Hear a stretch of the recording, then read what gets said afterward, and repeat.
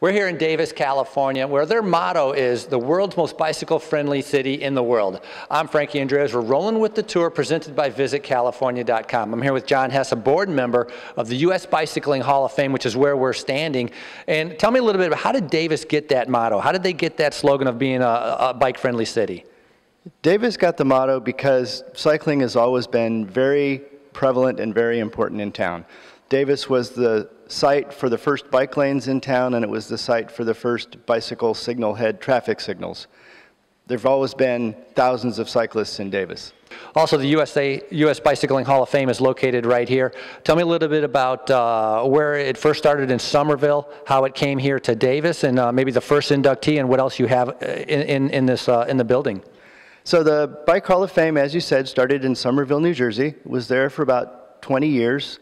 Um, lost its uh, building, so it didn't have any display space, and, and the folks in Davis who knew everything cycling and everybody involved in cycling went out to New Jersey and said, hey, maybe you should think about moving to Davis because we are the bike capital of the United States. We have lots of bikers, and you know, it would be a great, great fit for our town.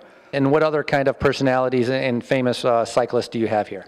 If you can pick a bicycle racer from the last 100 years, uh, odds are that they have been inducted into the Bike Hall of Fame. We've got 8,000 square feet, we've got three floors, and the uh, facility is open now, subject to volunteer uh, availability. It's open on Wednesdays and Saturdays. John, thank you very much. U.S. Bicycling Hall of Fame located at Davis, California. If you're going to come here, make sure to bring your bike because you have to be able to ride around in the bike pass. I'm Frankie Andreu. We're rolling with the tour presented by VisitCalifornia.com.